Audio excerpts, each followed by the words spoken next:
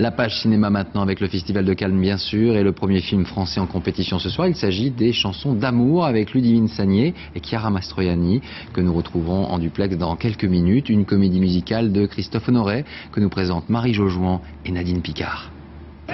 Sur le tapis rouge, le charme, le talent, l'insolence de la jeunesse. Ludivine Sagné, Claudine M, Louis Garel, Chiara Mastroianni. Avec les chansons d'amour, premier film français en compétition, Christophe Honoré a réuni la jeune garde du cinéma français. Je suis heureux d'amener ces comédiens-là à Cannes. Euh, je trouve qu'ils représentent tous une certaine idée du cinéma français que moi j'ai envie de défendre.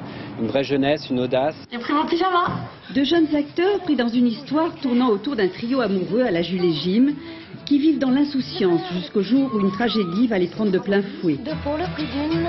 Je pense que c'est vraiment ingrat, égoïste. Voilà, je suis inconséquent, je suis idiot. C'est dégueulasse de me faire passer pour la conne Pour son quatrième film, Christophe Honoré a choisi une narration originale. Parler d'amour, oui, mais en chanson, le cinéaste est un fan de Jacques Demy. J'avais envie pour la première fois d'évoquer vraiment un- une histoire d'amour, enfin des sentiments amoureux. Et les chansons, euh, voilà, j'aimais bien cette idée que des personnages étaient incapables d'exprimer leurs sentiments autrement qu'en chantant, et que, que le moment des chansons allait être le moment où ils délivraient leurs émotions euh, intimes. Petit salaud, ton jeu est clair. La chanson ici est comme une bouffée d'air frais dans un film émouvant et parfois dramatique.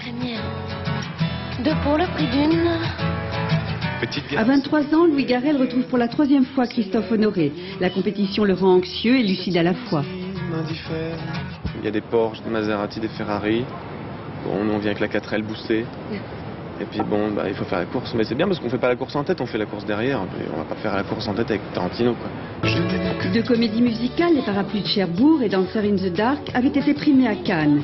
Les membres du jury vont-ils résister à ces chansons d'amour?